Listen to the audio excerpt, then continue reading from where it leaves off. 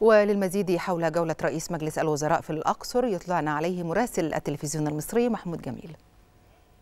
أهلا بكم وبكل السادة المشاهدين نرحب بكم من محافظة الأقصر حيث نتابع جولة دولة رئيس مجلس الوزراء الدكتور مصطفى مدبولي لعدد من المشروعات التنموية والخدمية بالمحافظة. وهذه الجولة تركزت على عدد من المشروعات الخاصة بالتعليم والصحة والسياحة. بدأت جولة رئيس مجلس الوزراء بزيارة جامعة طيبة التكنولوجية بمدينة طيبة الجديدة. وهنا تحدث على أهمية الجامعات التكنولوجية في خدمة الطلاب وتقديم بعض البرامج التكنولوجية المختلفة التي تؤهل الطلاب لسوق العمل. هذه الجامعة التي تقام على مساحة 130 ألف متر مربع وتقدم بعض الكليات المتخصصة في التكنولوجيا الخاصة بالصناعات الغذائية والفندقية وغيرها. ثم أيضا تفقد الدكتور مصطفى مدبولي السير العملية التعليمية في عدد من المدارس التعليمية بمحافظة الأقصر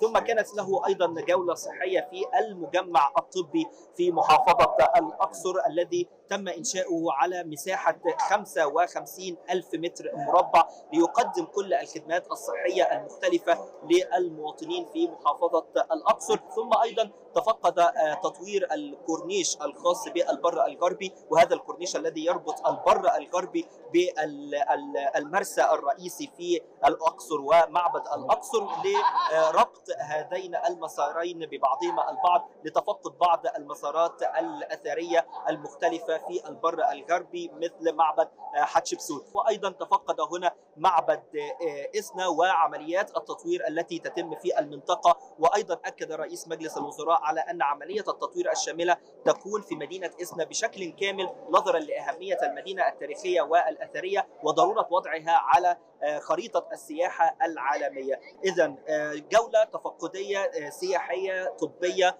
وأيضا تعليمية للتأكيد على اهتمام الدولة بمتابعة كل المشروعات التنموية والخدمية التي تتم في كل محافظات مصر وخاصة أيضا هنا في محافظات في محافظات الصعيد ومنها محافظة الأقصر. هذه هي أبرز ما جاء من جولة رئيس مجلس الوزراء دكتور مصطفى مدبولي اليوم في محافظة الأقصر والآن أعود إليكم مرة